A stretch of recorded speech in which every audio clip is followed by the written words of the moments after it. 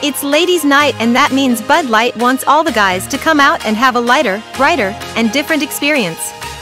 It's the same old Bud Light, but now it represents the heart of evolution. The beer is the same, but we have evolved and elevated. If you want great beer that's truly inclusive and never fratty or has out-of-touch humor, then make it a Bud Light because Bud Light is made for a man who wants to be a girl.